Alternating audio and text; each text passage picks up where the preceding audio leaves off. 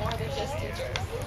You're mentors, and I can't believe that we've been here for so long, and this is, I'm so happy.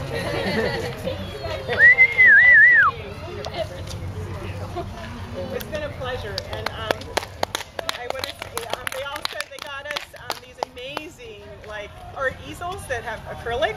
So we broke them in and did paint like all over them, like on Friday or Thursday, and it was just really fun. So we're gonna get many many years of fun use out of that for all the future years of preschoolers. So we're gonna enjoy that. So appreciate it. It's really a fun, nice gift. Um, open this?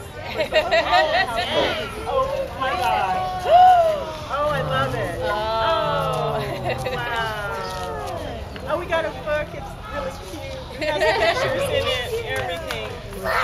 You know what? These things I love the best because then I can go back and look and remember. And I just, this has been a really special class this year. How fun. Oh my gosh, this is gorgeous. Oh my gosh, it's like a book book. friends like to hug, friends like to hold hands together. Oh, this is really cute. Have you seen this, you guys? It says friends friends like to read together, friends let friends take turns and share.